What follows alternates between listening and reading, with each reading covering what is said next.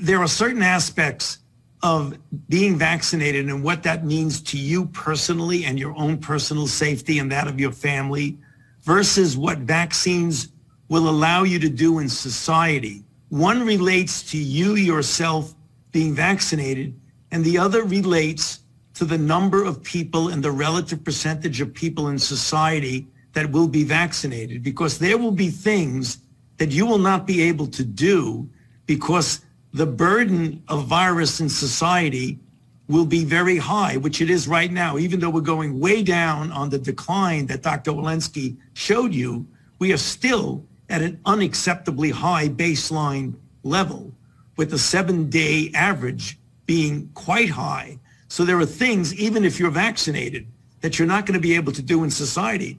For example, indoor dining, theaters, places where people congregate. That's because of the safety of society.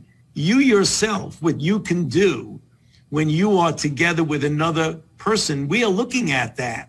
And we're going to try and find out very quickly what recommendations could be made about what people can do. One of the things that's universal here that we know that at this point in time, it is unclear whether when you get vaccinated and you might be protected from clinical disease, which is the primary endpoint of the vaccine studies, that you could conceivably be infected, have virus in your nasopharynx, and at that same time have no symptoms, which is the reason why we recommend and say you still need to wear a mask.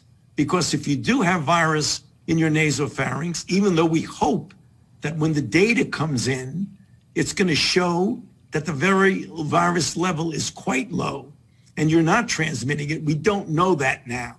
And for that reason, we want to make sure that people continue to wear masks despite the fact that they're vaccinated.